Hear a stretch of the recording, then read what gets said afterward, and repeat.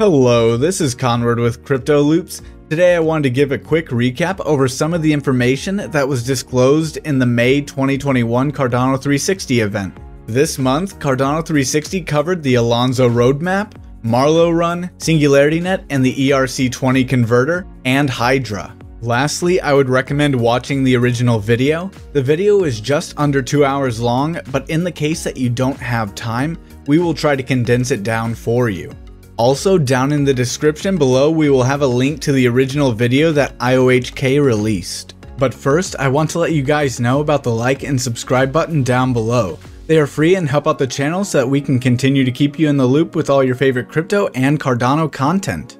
One development that we have been eagerly awaiting is the Alonzo hard fork, when smart contract functions will be available on the Cardano blockchain. During the Cardano 360 event, we were shown the 30, 60, and 90 day timeline for the rollout of Alonzo.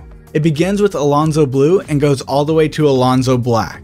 In this infographic, we can see the planned timeline for the release of Alonzo's mainnet. This timeline has changed a small bit from the previously planned release at the beginning of August, which is a bit disappointing, but as I've always said, Cardano doesn't really rush out their advancements and updates, and this allows for a better overall project though we will go through the phases really quickly. Alonzo Blue is the first stage of the testnet, where there will be a small cohort of Plutus partners with a core group of single pool operators or SPOs. They will be laying the groundwork for Alonzo White by testing the Alonzo fork and using simple Plutus scripts to test and execute on chain. Alonzo White is the next stage in the Alonzo rollout plan, where Blue had a smaller group White increases the size of the cohort and SPO group. In this phase, there are more performance benchmarks to test the functionality and stability of the network, and instead of just simple Plutus script, partners and pioneers will start running their scripts and benchmark basic dApps.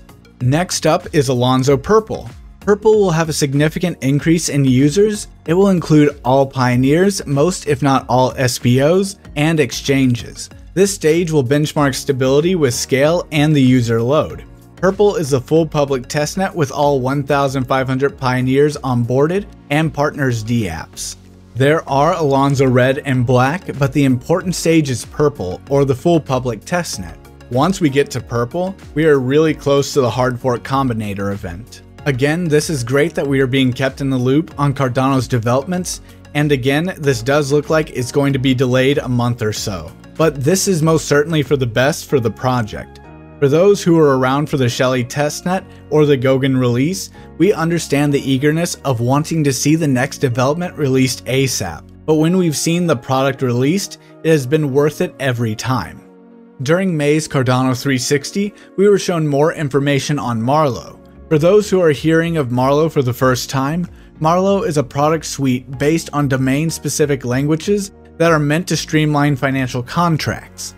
With Marlowe, one can make a smart contract using programming languages such as JavaScript or Haskell. But what makes Marlowe fantastic is that if you don't know a programming language, you can still make a contract using Blockly. Blockly allows you to literally put contracts together like a jigsaw puzzle. Along with the theme of making financial contracts easier for those who don't program, Marlow is safer as some errors are impossible to make due to how the language has been written. Now we were shown Marlowe Run and a demo of Marlowe Run. One of the developments that will make many happy is Marlowe will provide off-the-shelf financial contracts. What this means is that if you want to make some of the most basic financial contracts, all you will have to do is use one of the pre-made contracts and fill in the blanks. Now let's look at the Marlowe Run demo and again I will have a link to the original video down below. Marlowe Run runs directly in the browser. We are able to see what contracts we have running and in the video we are able to see that on the left Trudy has no contracts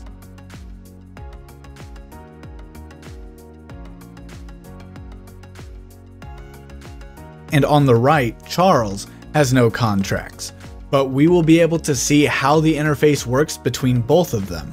Trudy will be making a zero coupon bond or better known as a loan. As you can see, it is a fill in the blank system and quite easy to follow. the loan will be 1 ADA and the repayment will be 1.1 ADA. Keep in mind that 1 ADA is equal to 1 million Lovelace.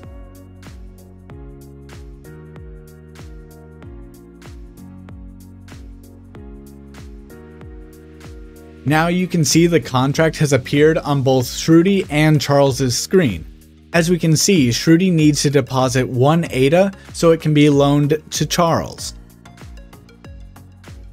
Now there is an action that Charles has to do, and her screen shows that she is waiting for Charles to complete step 2, which is the loan repayment.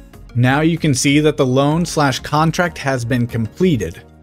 Next up is SingularityNet. Now, I won't spend a ton of time on this as we have covered SingularityNet's plans for migrating from Ethereum to Cardano, or at least offering users the ability to migrate for quite a while now. Though we got to hear from Jan Horlings, the VP of product at SingularityNet, he talked about how the gas fees on Ethereum were a factor in deciding to migrate to Cardano. He continues to state that speed, reliability, the Cardano community, and the foundation in Plutus were all factors in the decision to migrate. Another topic that was covered was the ERC20 converter. Now this does exactly what it sounds like. It allows developers and users to convert their ERC20 tokens on the Ethereum network over to the Cardano network. One token that is undergoing this process is a project we have previously talked about, SingularityNet. How this process works, in the example of SingularityNet, whose ticker is AGI, is that by using the ERC20 converter, users can lock their AGI on Ethereum and mint the tokens on Cardano. This allows for a one-to-one -one conversion of the token, if users want to transition their tokens back to Ethereum, they can burn the AGIX on Cardano and unlock their AGI on Ethereum. Here is a demo slash preview of the process. First, you must connect your MetaMask wallet or other wallet shown.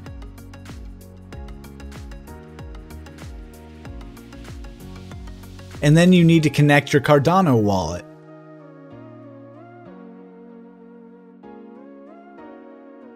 Once you have done this, you can now migrate your AGI from Ethereum to Cardano. Now you can go to the transaction section and see the transactions progress on both the Ethereum and Cardano blockchain. The ERC20 converter is expected to be on the testnet in June.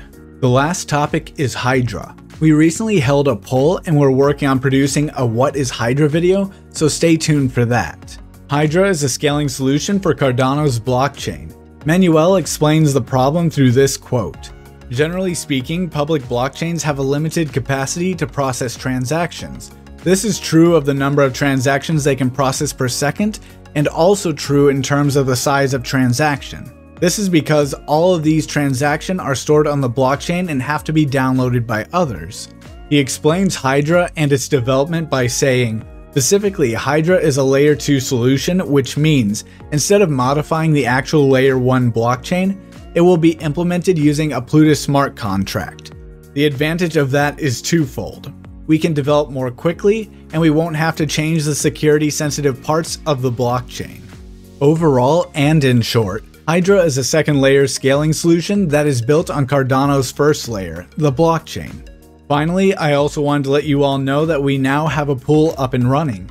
If you like what we are doing here and want to delegate your ADA with us at Loops Pool, it would be highly appreciated and it is a great way to keep us up and running while you earn ADA as well. Again, thank you guys very much for watching all the way to the end. Down below, I'll have a link to IOHK's video as well as links to our social medias. If you want to keep in the loop with crypto or crypto loops, then subscribe and hit the bell notification down below. Finally, if you find this content is helpful and want to help out the channel more, there are links as well as crypto addresses down below for ways to support us, and I will see you guys in the next video.